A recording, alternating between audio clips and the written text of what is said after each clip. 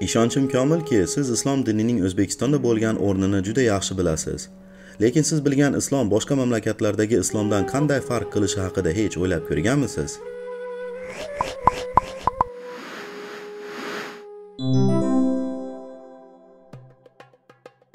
O'zbekistondan boshlaymiz. O'zbekiston kommunistik sovet ittifoqidan mustaqillikka erishgandan so'ng diniy tiklanishni boshdan kechirgan.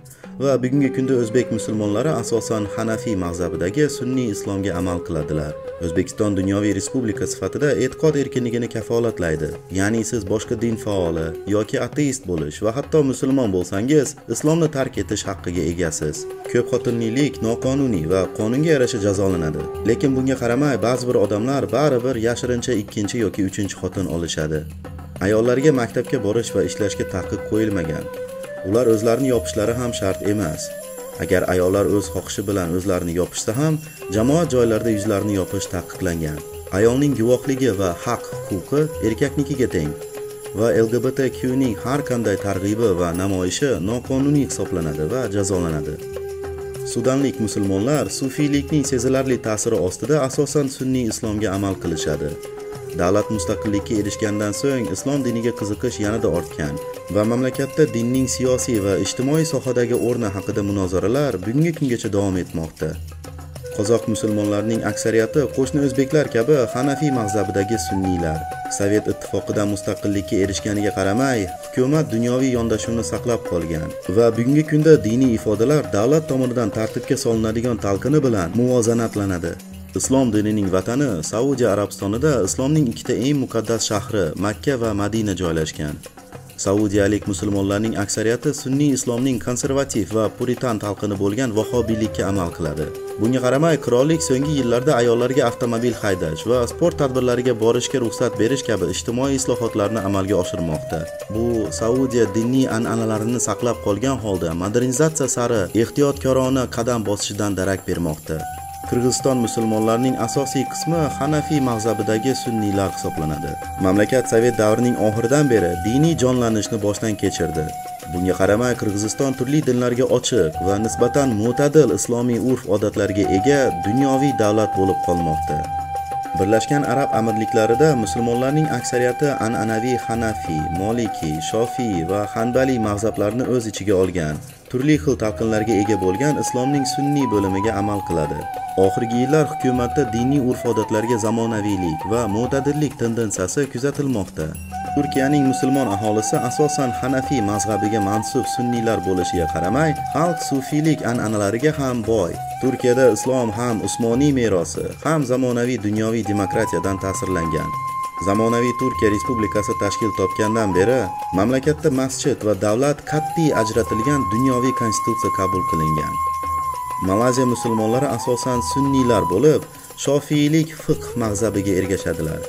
Oshchiliklar esa turli islomiy mazhablarga jumladan hanafiylar va hanbaliylarga amal qilishadi. Malayziya islomiy davlat sifatida fuqarolik va shariat qonunlarini o'z ichiga olgan ikki tomonlama huquqiy tizimga ega.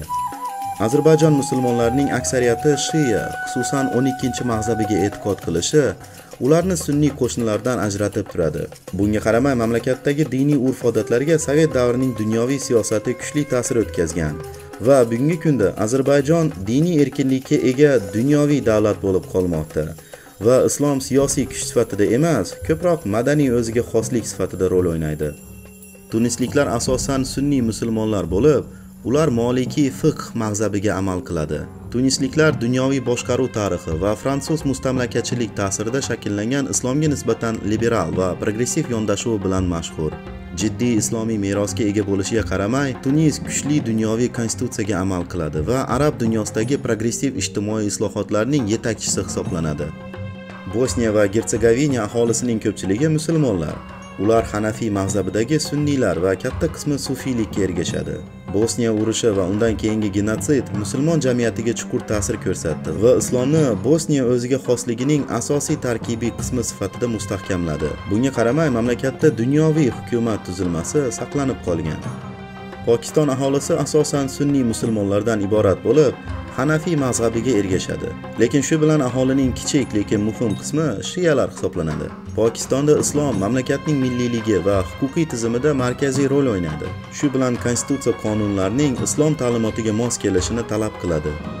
Kosovo musulmonlari asosan katta sufiylik ta'siriga ega bo'lgan hanafiy mazhabidagi sunniylar. 2008 yilda mustaqilligini e'lon qilgan mamlakat dunyoviy konstitutsiyaga amal qiladi. Biroq islomiy meros kosovaning o'ziga xosligida muhim rol o'ynaydi.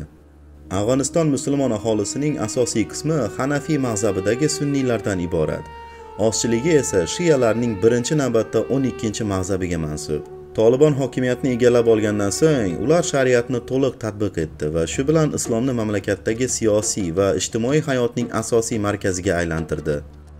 Markaziy Osiyoning boshqa davlatlari singari Turkmanistonning aholisi ham asosan Hanafiy mazhabidagi sunniylardan iborat. Sovet ittifoqidan mustaqillikka erishgandan beri Turkmanistonda islom dinining ijtimoiy hayotga nazorat ostida qayta kiritilishi kuzatildi. Ammo bugungi kungacha diniy urf-odatlar hukumat tomonidan qattiq tartibga solinadi. Misrlik musulmonlarning aksariyati sunniylar bo'lib, ular asosan Hanafiy mazhabiga amal qiladilar. Misr tarixan islom ilmiy markazi bo'lib, bu yerda eng qadimgi va nufuzli islom institutlaridan biri bo'lgan Al-Ajar universiteti joylashgan. Misr dunyoviy mamlakat bo'lishiga qaramay, islom davlat huquq tizimiga katta ta'sir ko'rsatadi. Dunyodagi eng ko'p musulmonlar sonini o'z ichiga olgan Indoneziyada musulmonlarning ko'pchilik qismi sunniy islomning shofiy mazhabiga ergashadi. Kamchilik esa Hanafiylar, Molikiylar va Hanbaliylarga. Bunga qaramay mamlakat dunyoviy va diniy bag'rikenglik va pluralizmni ta'kidlaydi. Shu bilan turli dinlar va mazhablarning gullab yashnashiga imkon beradi. Suriyaliklar asosan sunniy musulmonlar bo'lib, Shafiy va Hanafiy mazhabiga ergashadilar. Ozchiliklar esa asosan Alaviy va boshqa islomiy mazhablarga. Fuqarolik urushidan oldin Suriya dunyoviy konstitutsiyaga amal qilgan, ammo davom etayotgan mojarolar davlatdagi diniy manzaraga jiddiy ta'sir ko'rsatadi.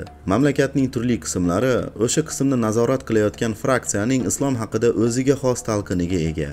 Iroqning musulmon aholisi sunniy va shiya aralashmasidan tashkil topgan. Iroqda shiya islomining eng muqaddas joylari, jumladan Najaf va Karbalo shaharlari joylashgan. Iroqda Saddam Husayn rejimi qulaganidan beri davlatning siyosiy va ijtimoiy tuzilishida shiya ta'siri kuchaygan. Qatar musulmonlari asosan sunniylar bo'lib, Saudiya vahobiyligiga kuchli ta'sir ko'rsatadigan Hanbali mazhabiga mansubdir. Biroq Qatar musulmonlari nisbatan mo'tadilroq talqinga amal qiladi. Qatar o'zining islomiy merosiga qaramay, o'zining nisbatan ilg'or ijtimoiy siyosati va ko'p madaniyatli internatsionalizmga ochiqligi bilan mashhur. Bunga sabab Qatar yirik global tadbirlarga mezbonlik qilishi va ko'plab chet el aholisiga egaligi. Jazoirda Maliki fiqh mazhabiga ergashuvchi sunniy musulmonlar ko'pchilikni tashkil qiladi. Islom davlat dini bo'lishiga qaramay, islom ekstremizmi sabab bo'lgan o'tmishdagi fojialar tufayli hukumat diniy urf-odatlarni qattiq nazorat qiladi va islomning mo'tadil, davlatga asoslangan shaklini qabul qiladi. Marokashliklar asosan Molikiyning tariqatiga mansub sunniy musulmonlar bo'lib, ular mo'minlar shahzodasi unvoniga ega bo'lgan Marokash qiroliga bo'ysunadilar. Bu bilan ular monarxiya va islom o'rtasidagi mustahkam an'anaviy munosabatlardan dalolat beradi. Eronning ko'plab mamlakatlardan ajratib turadigan o'ziga xos xususiyati shundaki, uning musulmon aholisining aksariyati shiya, xususan 12 mag'zabi Mamlakat boshchiligida diniy ulamo bo'lganligi tufayli shiya islomi Eron konstitutsiyasi va hukumatda chuqur mustahkamlangan. Islom dini turli mamlakatlarda va mintaqalarda keng tarqalgan bo'lib, bu din musulmon jamoalarining xilma-xilligini, ularning mahalliy, madaniyat tarixi va siyosiy holatiga bo'lgan ta'sirini aks ettiradi. Turli mamlakatlardagi musulmon jamoalarning o'ziga xos xususiyatlarini va murakkabliklarini o'rganish madaniyatlaro islomning hurmat va qadrini shakllantirishga yordam beradi. Pst, hey, salom. Men ushbu kanal muallifi Todman. Videoni ushbu joygacha tomosha qilganingiz uchun katta rahmat. Ha, aytgancha, mening kimligimni bilishni yoki jamoamizning bir qismi bo'lishni xohlaysizmi?